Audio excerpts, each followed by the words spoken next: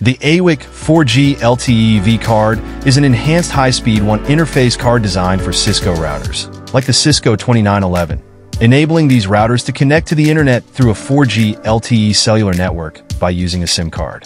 This card becomes essential in scenarios where traditional wired connections, such as DSL, fiber, or cable, are either unavailable or unreliable, providing a dependable alternative for internet connectivity.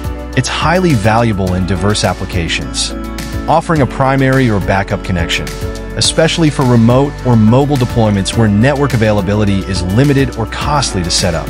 Situations like remote branch offices, mobile units, or temporary installations benefit greatly from this setup, as it allows quick and flexible internet access without needing a permanent wired infrastructure.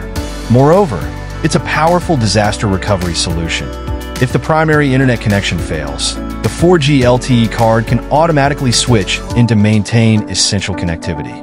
This LTE connectivity option is not only cost-effective, reducing reliance on expensive leased lines in areas where wired services aren't feasible, but it's also secure, integrating with Cisco's VPN and security features to safeguard remote connections.